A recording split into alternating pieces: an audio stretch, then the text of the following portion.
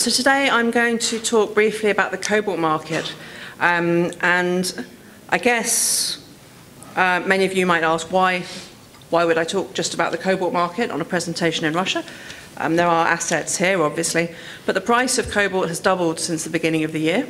Um, it's a market that is, is truly in transition at the moment, and I'm going to cover some of the reasons why we think that the price and opportunities in cobalt are going to stay strong in the upcoming period.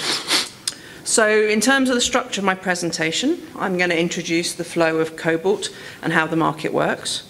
Talk a little bit about demand because demand for cobalt extends beyond electric vehicles, which is the topic most people think about, and in fact is extremely strong in all the end uses. I'm going to talk a little bit about those other end uses and see if we can think who might be the first to substitute away from cobalt if there is um, long-term increase in price.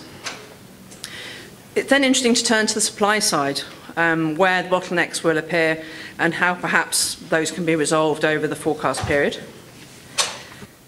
A lot of, a lot of cobalt comes out of the Democratic Republic of Congo, and um, it, it comes quite interesting to look at who's actually investing in Congo and who might be controlling the material that's going to be coming out of that area.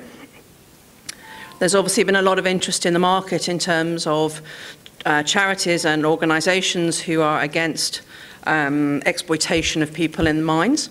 Um, however, we think that artisanal mining is going to continue to grow, and I'll explain why we think that. And finally, I'll just give an indication of our price forecast so you understand how very positive we are about this market at the moment. So demand. Um, th this is divided between the red section, which is metallurgical end uses, and blue, which is non-metallurgical. And then the blue section divided between batteries, indicated as Li-ion, and then the other sector. And you can see that between 2011 and 2021 that the demand for electric vehicles grows very considerably within that sector.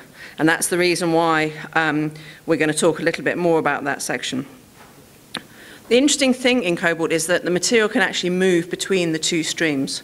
So historically, the market was entirely metallurgical, relatively high cost. But there's a product that can be made for the metallurgical stream that can also be dissolved in acid and can then form chemical cobalt. The newer, slightly lower cost or, or technologically more advanced way of making cobalt sulfate, cobalt hydroxide direct from the ores also can produce a powder which can be sintered into a metal. So in terms of understanding the market, it's not as clean cut as a single market for metallurgical and a single market for non-metallurgical. It's actually quite complicated between the two. And the two can balance each other at those end stages. So in terms of electric vehicles, this is the area that's in the press all the time.